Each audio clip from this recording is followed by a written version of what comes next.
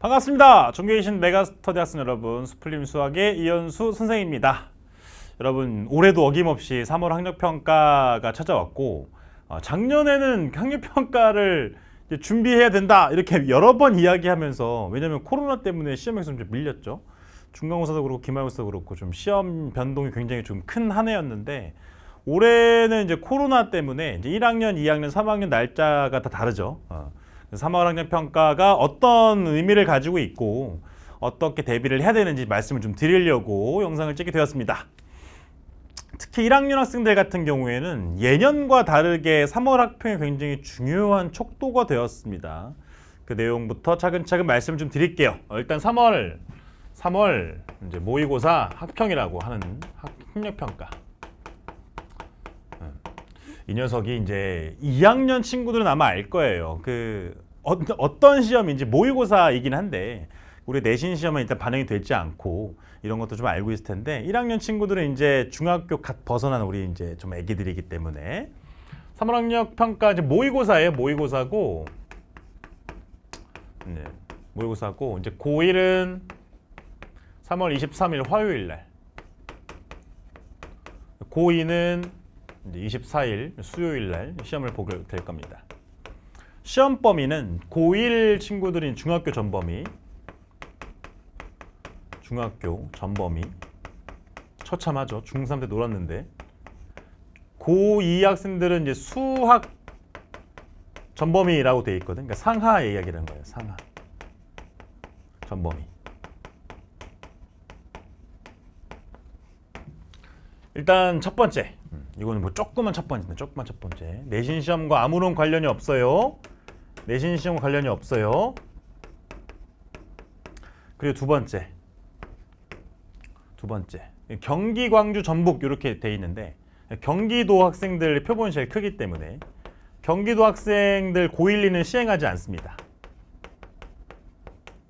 그러니까 우리가 시험을 이제 3월, 3월, 6월, 9월, 11월 이렇게 보거든요.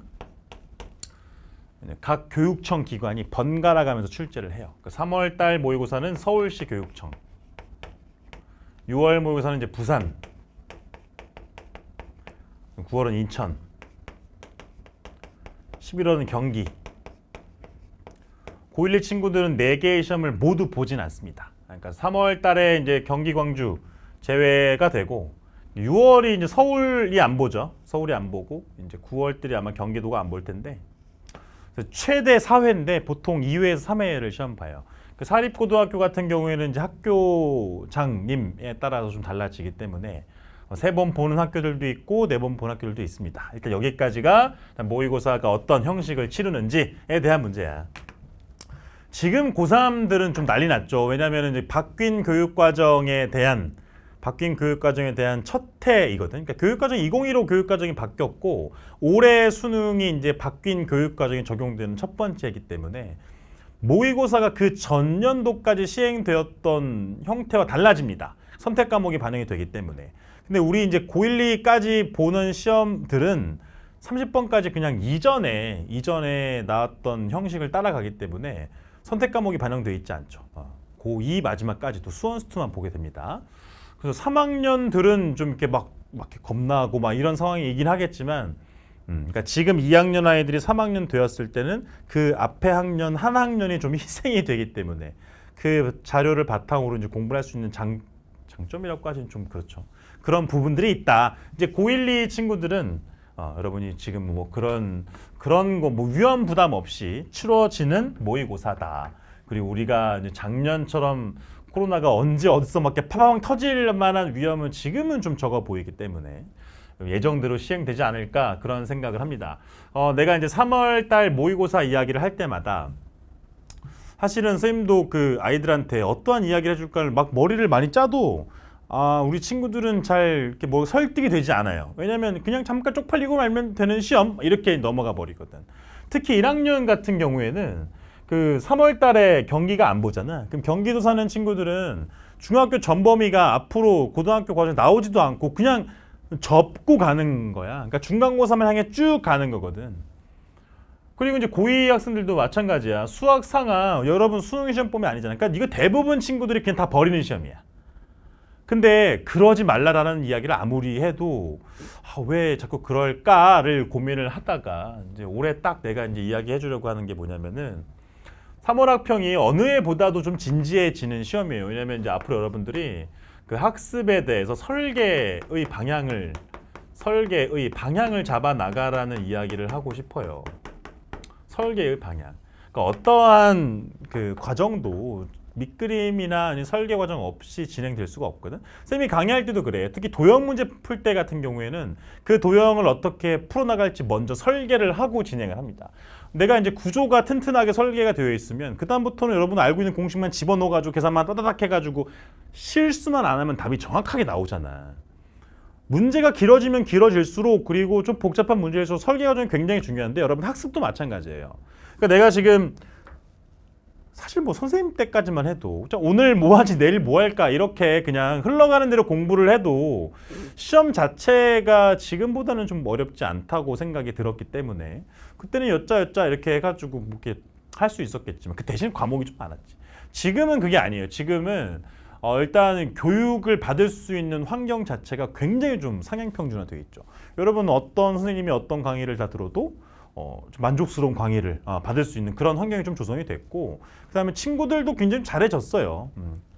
설계 여기서 얘기하는 설계는 뭐냐면 여러분이 앞으로 대입이지 무조건 대입이야 대입인데 그러니까 그러니까 최근의 학년까지는 최근 학년까지는 이게 내신에 들어가지도 않고 어, 내신 시험을 좀 적당히 적당히 방어 좀 하다가 내신이 안 나온다 싶으면 그러니까 내신 3, 4가 안 뜨면 정시 파이터로 갑자기 돌변해가 정시만 디리트 파는 거지. 그래도 대학을 잘 갈 수 있었어요. 대학은 어 정시의 기준으로 보면 내신이 거의 안 들어가기 때문에.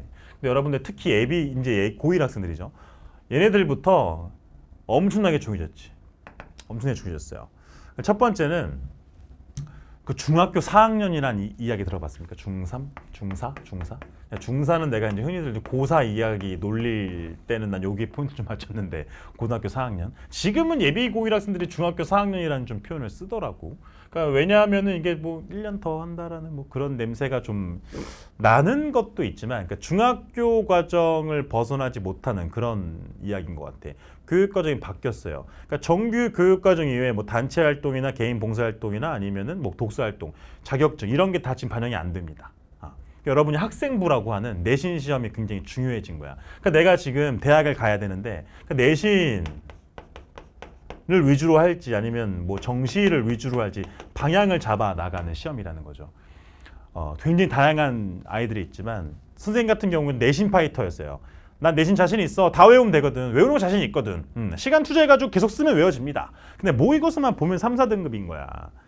그러면 나는 어떻게 해야 되지? 이 상태에서 어떻게 뭘 공부를 해야 되지라고 선생님한테 여쭤봐도 열심히 하다 그러고 주변에 누나 우리 그 누나는 되게 공부 못했기 때문에 알려줄 사람이 아니었고 뭐 그 친구들한테 물어봐서 우리가 뭐다 비슷한 애들끼리 뭘 알겠어? 그러니까 방향을 못 잡겠는 거죠.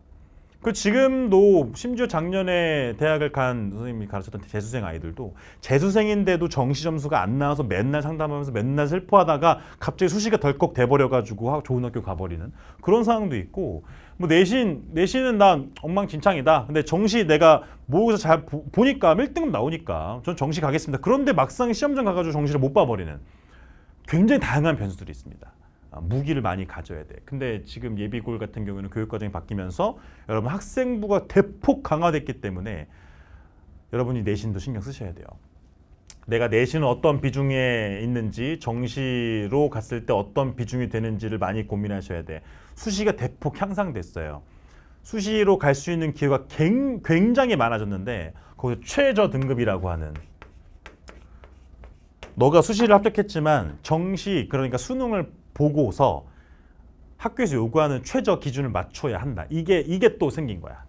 대부분의 학교들이 이게 또 강화가 된 거죠. 그러니까 여러분이 예전보다도 이쪽으로 할 거야, 이런 쪽으로 할 거야. 파이터를 정할 수가 없는 거죠.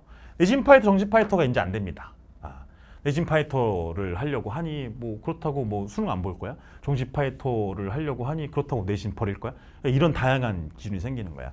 사실 뭐 그 예전에 쌤이 댓글이 한번 폭발한 적이 있었는데 정시 파이터 함부로 하지 말아라. 그 1학년 때부터 정시 파이터로 돌아선 친구들이 대부분 실패를 하더라. 라는 거거든. 근데 그게 지금 생각해도 내 말이 맞는 게 뭐냐면 왜 실패하는지를 생각해 보면 정시 파이터라고 내신 아예 싹 다 버려야 돼요. 그리고 봉사활동 학교에서 하라 그래? 그럼 버려. 애들 막 중간고사, 기말고사 공부해 다 버려. 어, 나 엎드려 자. 무, 무조건 기출문제만 풀어. 이런 마인드가 돼 있지 않으면 정시를 어떻게 다 갖다 버릴 수가 있겠어. 그러니까 정시 파이터를 외치면서 내신 기간 때도 내신도 깔짝거리긴 하니까 이도 저도 안 되는 상황이 발생되는 경우가 많더라라는 이야기였거든. 근데 그런 파이터들이 이제 뭔가 한쪽으로 쏠리는 게 굉장히 위험해진 거죠. 그러니까 앞으로 여러분들이 설계에 대한 방향을 잡아나갈 때 굉장히 큰 기준이 되는 시험이 3월 학력평가일 것이다 라는 이야기입니다.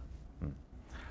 그래서 이게 대부분이 좀 버리긴 해요. 근데 어, 3월달 점수가 중요하다는 게 아니야. 내가 3월달 시험을 봤는데 내가 괜찮게 나와. 어, 그럼 여러분들이 내신도 이제 좀 강화하면서 나는 이제 모의고사 그러니까 학습에 대한 성향의 차이거든.